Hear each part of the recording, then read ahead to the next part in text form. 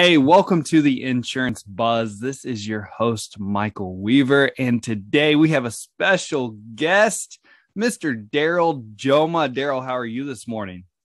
I'm good. How are you doing, Michael? Man, I'm doing good. I hope you're ready to get buzzed on the buzz today, brother. yeah, I am. Oh, Daryl, thank you so much for your time and coming on this morning. Um, I appreciate it. Obviously, me and you have a a long-standing relationship to where we talk quite often and you're an absolute stud. So i'm so so so happy that you uh you're coming on today. All right if you say so. So first and foremost before we get into insurance i got to know who was daryl jolma before insurance? Well i was a construction guy. Okay. I, I actually grew up on a dairy farm, and when I graduated high school, I went into construction. So spent the first couple years pouring concrete, building homes, roofing, siding, all that type of stuff. Then I went into into the office and did a lot of estimating, project managing. That's kind of where I spent uh, the next ten or so years. Was uh, just getting people going on the jobs, meeting with customers, doing their proposals, presenting them, ordering materials, all that type stuff. So that along with uh, I have beef beef cattle, do some beef farming and so make hay and and uh, raise cattle also. Man, growing up on a dairy farm, that's like you're you're early in the morning milking, late at night milking. Like I can't even imagine. that's a lot of hard work. Yeah, it was. I'll, I'll tell you, I left the day I turned 18, and, and that was a good day to get off the farm. So. And then, so how did you?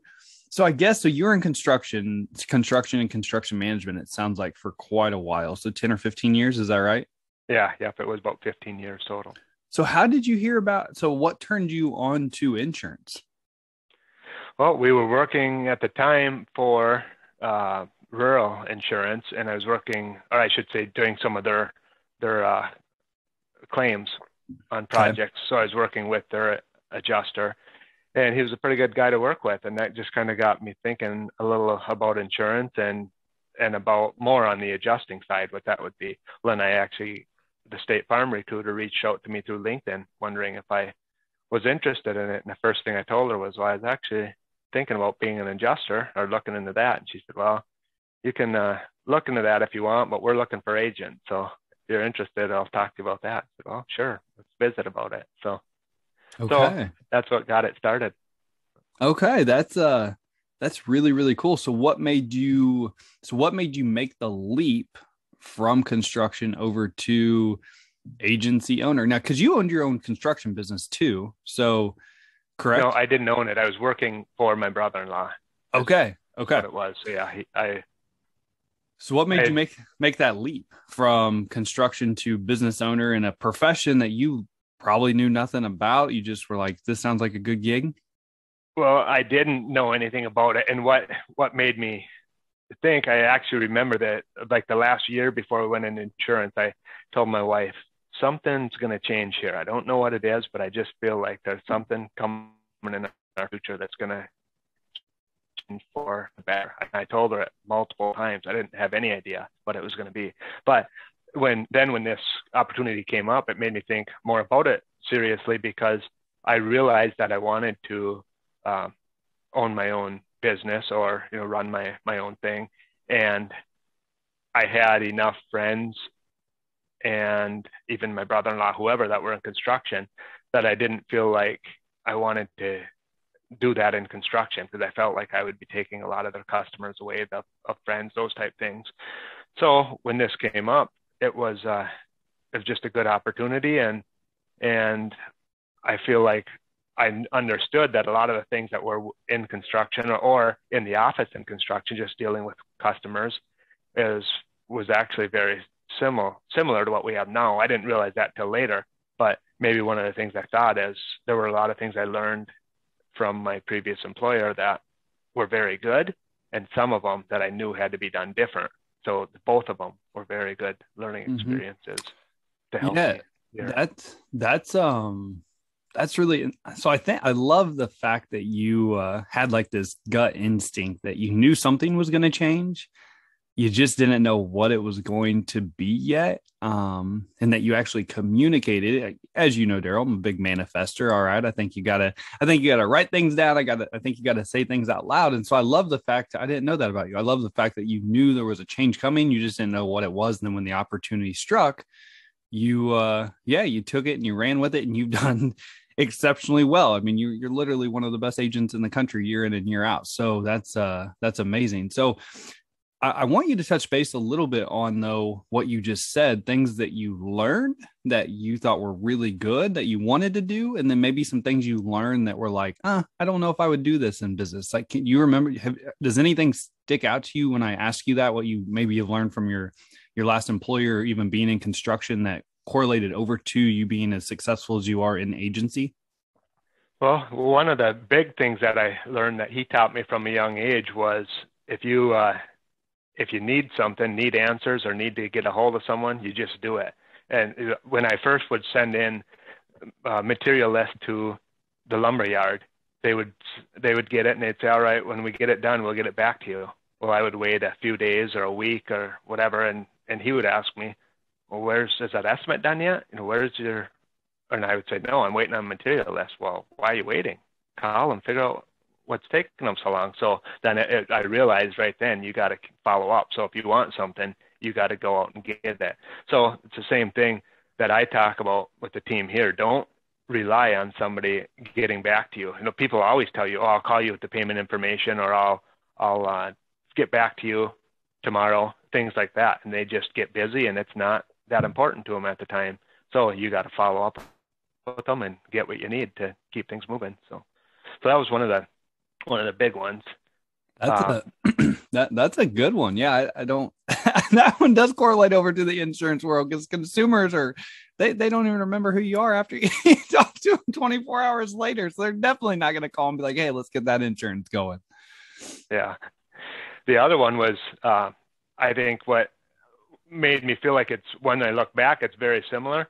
So I would go out to people's homes. I would uh, measure up their roof siding, or even they would come in the office. We would meet to uh, go over the plans on a new home. Well, it was it was no different than insurance. You're building rapport. You had to make sure that they uh, liked you, trusted you, and and if you if you could get someone to like you and trust you, then they want to do business to you. They want to listen to you, and then they want to do business with you. So it was the same thing. We were often uh, either the only price they would get or the highest price they would get when I was in construction.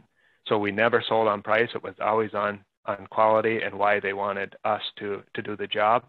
And the exact same thing we do in insurance. You know, in the office, we don't talk about price. We don't we don't uh, expect to be the lowest price when we meet with people and and quite often we don't even know if we're the lowest price or not because we just present what we have and and put it in place so so i guess that's the other one is that if you just uh, have a conversation with people care about people try to figure out what they want and how you can help them solve their problem and educate them along the way then they're happy to do business and the last thing maybe most important is you have to be excited about it. If you're not excited about it, uh, they're not going to be. You know, you don't want to come across as as uh, I'm presenting this to you, but you don't really want it, do you? It's kind of you know, sometime when you're lacking or when I'm lacking confidence or my team, that's what we'll we'll see, and and uh, then we train on it. That hey, we got to change something there. You got to get excited about it. If you're not excited, they're not going to be excited. So.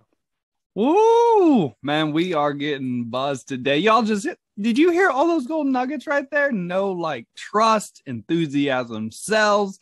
Man, you are you're full of little nuggets this morning, my man. That's but that's so good, and you're so right because no like trust like that is the you are 100% right people have to know you like you trust you insurance is tough because you have to establish that over the phone. So it's even more difficult to establish that. So, and in person, obviously, but a lot of the sales with brand new prospects might be done over the phone. They may not know who you are. So you have to do a really good job of learning how to build that no like trust over the over the phone. And then obviously you got to control the controllables exactly what you said and doing the right thing, like being genuine, enthusiastic, excited, giving them more coverage, making sure they're adequately protected, solving problems. Who cares what the price is? Your job is to make sure they're adequately protected. And I know, I know you all do that. That's man, that is that's golden. Yeah, yeah, it's been been going well, and it seems like we improve a little more each year. So that's about all we can ask for. So. Absolutely. So, so all right. So we went from dairy farmer to 18 out of the house, getting into construction, construction management, into insurance. Um, what have you so you're always super consistent like you, you and you knock financial ser- i mean you knock everything out of the park but especially financial services i mean 100 100000 in life premium every single year, I think for the last three or four years in a row at a minimum, which is really, really good. Um, already on pace for 111 this year. What do you think are some things that you all do that you and your team, because obviously this just isn't you, this is your team as well. What do you think you, you, one or two things that stick out to you that you're like, man, if if I had to pinpoint something, this is what I would pinpoint as to how we drive so much premium, for example, because a lot of agents out there either are really good with apps or really good with premium. They're not really good with both, or some will struggle. You're really good with both. So let's tackle premium first. Like, what do you think are some ways that that you and your team drive so much premium on a consistent basis? Well, I would say one of the biggest ones is probably that I, I have quite a bit of, of whole life or limited pay whole life on myself. And Jenny, my wife, is one of the team members, and she talks with uh, the customers as they come in. She explains what we have on our own family and why, and how we can use the cash value and how it's there for a safety net if we need it. So she gets excited and explains the the benefits of that, and then uh, as we we show, so we actually we uh, just go through and explain explain the difference between term and, and permanent and then also, um, I, I guess I've just got the the process down. It started where I used a lot of uh, Tyler Bullington's 10 pay processes is what kind of what we had done a lot of, and that's that's actually for the last few years what we've how we've written a, a lot of premium was just following his process. But now the last year or so, it switched over more rather than limited pay to whole life, and uh, so we do we do a lot more whole life. You know, we'll show that the triple play where we'll have term against the return of premium, and then instead of using a 20 pay life that we used to for that, we switched it over to the whole life. It seemed like when we did that, it uh, it made that premium a lot lower for higher coverage, and people are just uh, a lot more excited. And I think probably one of the biggest things is I really believe in whole life. I think whole life is a, a great product that everyone should have. So with those, uh, we train on that. The team, I suppose, because I was excited about those products, the team also follows, and that's the same thing. They don't.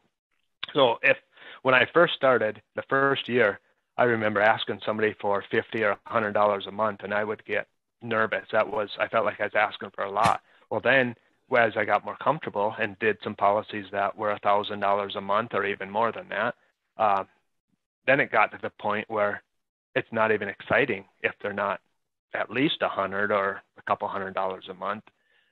And you just kind of start to expect that they'll put that much in. And that's kind of the way the conversation goes with with that expectation. And maybe maybe without even saying the words it just come comes across at that and they understand that that's what you're expecting.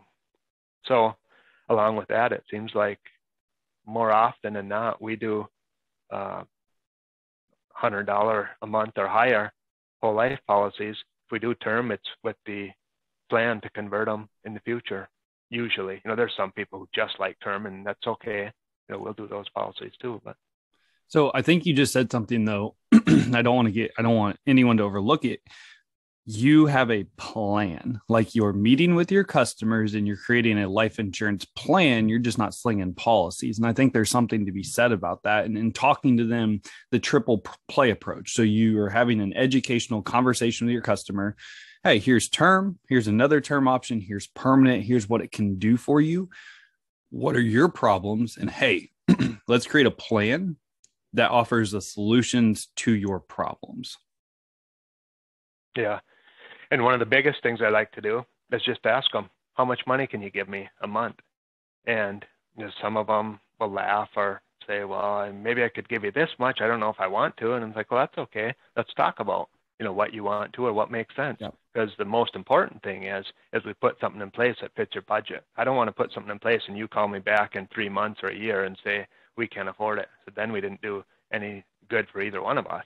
So let's put something in place you can you can afford that fits your budget and we'll go from there. We'll meet next year and add more or change it if we need to. And, and there's some that'll say, well, let's do some permanent and some term. Or there's others that'll say, ah, I would just rather put a higher permanent policy in place right now. We'll make it yep. work. And I'll usually question them a couple times. Are you sure this is going to work? And they if they say yeah, then we'll go with that. So I would say I do almost the opposite of what you may expect. You may expect people that I would try to convince people to put more into it. I probably do it the opposite. You know, I probably make sure more rather than try to push them more. I'll try mm-hmm. to hold them back a little bit. So, you sure you want to put this much in? Is this going to work for your family and for your budget? And once they say they do, then we go forward.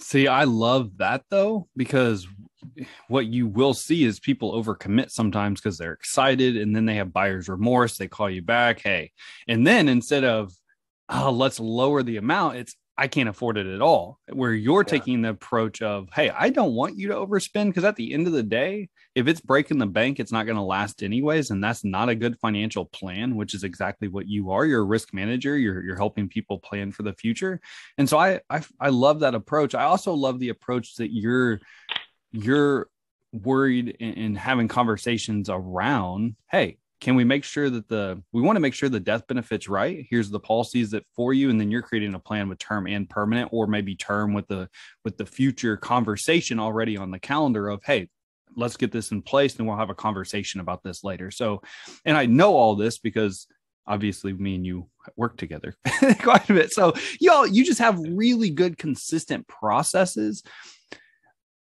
And i don't even think you give yourself probably enough credit for this. I just know this because we've been working together for two years, but you have really good, consistent processes from the financial services standpoint to where not only are you writing the initial plan or policy with your consumer, but then you're what you talked about in the construction management that you learned. You have follow up processes to, hey, let's come back in, let's visit. And so I, I think there's something to be really to be said about that. Yeah, it is. Consistency is, is good. In the first few years, I wasn't too consistent, probably up until I started working with you. As a matter of fact, I would they would ask me at meetings, "What do you do? How do you have such good production, such good numbers?" And I didn't know what to say. I would tell them, "I don't know," or "We just wing it." And they would, a lot of agents would actually get irritated at me, but looking back, it was the truth. I didn't I didn't know what I was doing. I just knew I had to get it done and I put in a lot of hours and I made a lot of calls or connections, whatever we had to do. And I never had any process. We just just made it happen without the processes. But once you start putting processes in place, then it starts getting much easier and much more fun.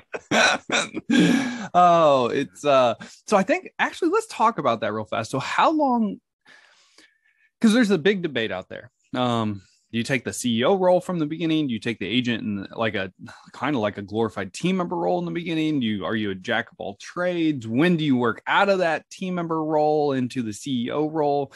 Do you have a, any opinion or advice on that for maybe newer agents that are obviously consistent processes you just you just said, but um, I think it's always good because everyone has a different background. Some agents are that glorified team member role never. And hey, kudos to you. I wish I could have figured that out as an agency owner starting off.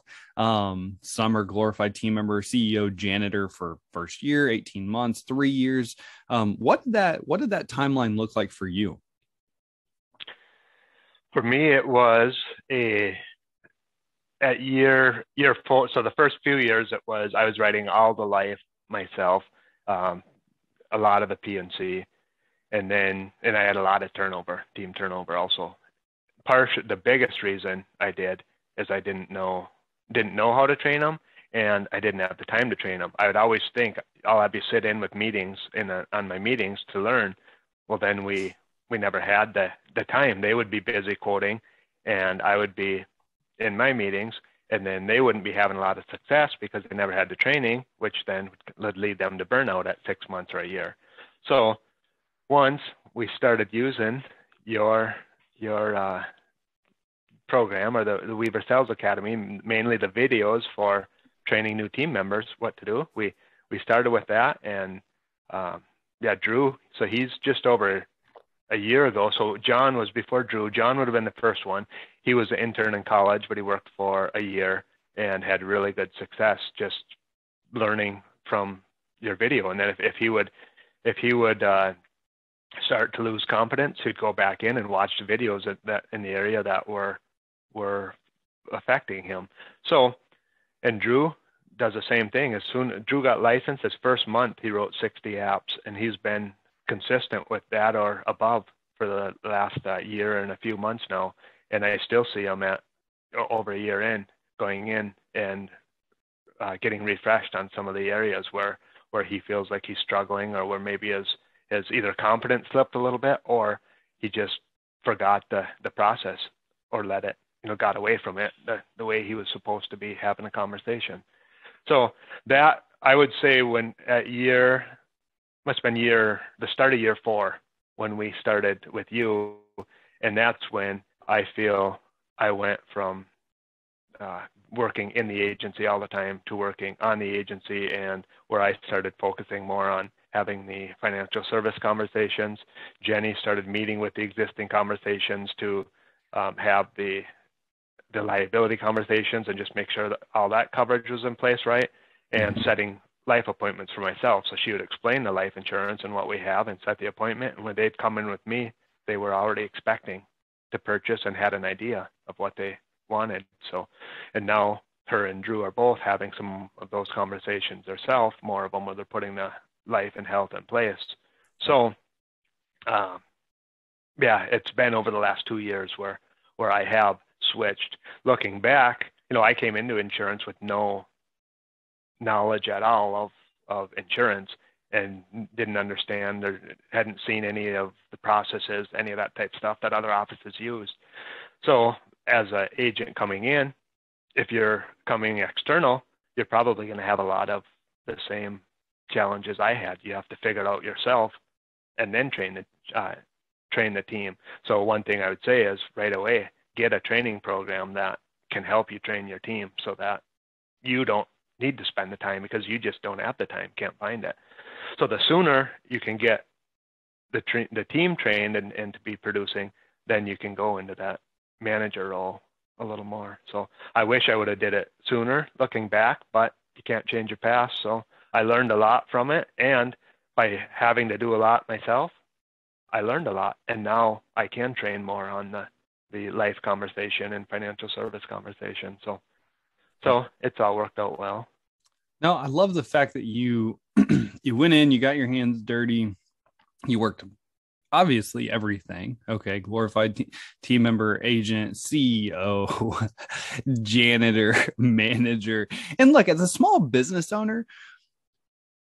I think that that is okay. There's some people I've talked to some agents out there that from day one they were management the whole time and just driving results through the team. And, and i love i love that. Like i think i think that's awesome. But at the end of the day there's multiple ways to do this and you have to figure out the right way for you. And then you have to figure out how to grow into the person that you need to be to be that CEO manager which I the your progression has been amazing because I've I've I've watched you go from working in the business so much to now more of that manager. Yeah, you still will have some appointments, um, especially when it when the big money um, conversations. But now you're driving a lot of the results through the team, and it's been a lot of fun to watch. So kudos to you, my man, on on making that journey and growing. Because um, some people some some business owners and agency owners really struggle with that and i think you got to go through the struggle i think you got to get go through the shit sometimes to be able to get a, to to greener pastures and i think it, has been fun to fun to watch you do that yeah yeah it, it's been nice uh, that i've been able to because i definitely can can see that that uh, there's a lot more opportunity to to grow and now i have when i'm able to spend a little more time managing i can focus on hiring more good team mm-hmm. members and and growing the business. Or maybe you want to take a, a month away and just go on a hunting trip or a fishing trip or go visit some family or whatever. Like work hard, play hard. So it's uh yeah. it, it's fantastic. So man, my man, this has been good. So much, so much good stuff here. The trip, like everything you've said today. So, um, let's let's end with maybe shoot what's uh what's one thing that if you could have changed besides investing in training all right you you've said that from day one you wish you could go back invest in training it would help give you time back. What's another thing that sticks out to you that you've learned along the way? Either man i wish i would have changed and done this differently or the best tip that's ever been given to you as a business owner or insurance agency owner well, maybe I'll say that what I wish I could have done and still maybe need to do is from day one, if I could have uh, figured out my ROI on marketing. Mm. Because I mm. do, I do so much marketing, and I still don't know what works. I mean, as we look back, I know referrals are our our biggest uh, source of of new policies we're writing, but I haven't really tracked what else and a lot of our marketing i feel probably leads to referrals too. So some of that stuff is, is hard but but if the first year you know you were pretty much told you had to market well however your sales leader told you you had to. So you just had to do a lot of stuff that you had no idea if it was working or not. So now the new agents doesn't sound like they're going to have that much pressure. So they're going to be able to start right at the at the beginning and focus on or figure out what works try different things. So yeah i wish i wish i would have uh, started to to figure out or to track my my roi on on marketing right away because that would have would have helped uh, save a lot of money i feel but that is a that is a hell of a tip. And i know that me and you've obviously had some conversations around that. And i and i you, again you're uh you're one of those business owners that you um you don't and i love this about you. You never give yourself enough credit um because you i i we you you've got a pretty good grasp on it now but the tip you just gave is fantastic. You just can't throw money at the wall. Like as a new business owner agency owner know where your money's going and even the experienced business owners like you like we just had a money conversation what to start the year? I think in january february we kind of looked at, at your budgets and everything and so yeah. then it's it's revisiting.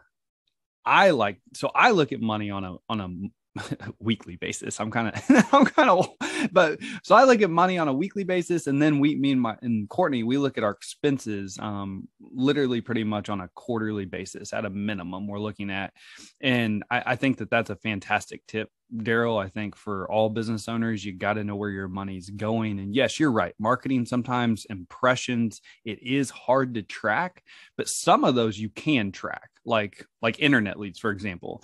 If you're spending whatever three grand a month $36000 a year on internet leads and you're writing x amount of business does it make sense or does it not make sense? Um, and, and, so i think it's i think you're you're hitting the nail on the head there. I think it's really important to track that.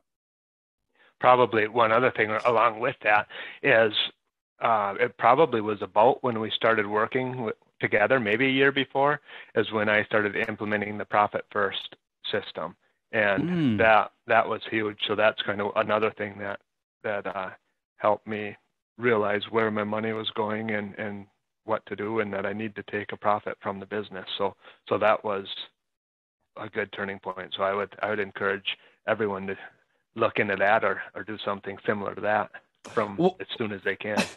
Wait, wait, you mean you're supposed to make money in business? yep, before uh, you're 30. oh wait, you mean you're not doing this for free? oh shoot, Daryl, I love this man. Thank you so much for your time. Um, Daryl, what is uh if somebody did want to to reach out, get a hold of you, what's like your what's like your website that somebody could could contact you and, and get in touch with you? Well, the uh my email is daryl at jolmainsurance.com.